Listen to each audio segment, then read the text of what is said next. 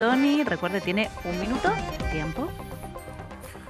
Hicimos muchas cosas y queremos hacer más. A partir del 10 de diciembre, con Jorge, vamos a encarar muchos proyectos, pero te quiero contar los tres más importantes.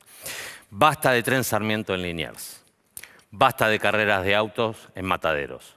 Y nuevo ingreso Remedios en Parque Avellaneda. Basta de tren Sarmiento. Viene el viaducto y junto a los vecinos decidiremos qué hacer en esos terrenos.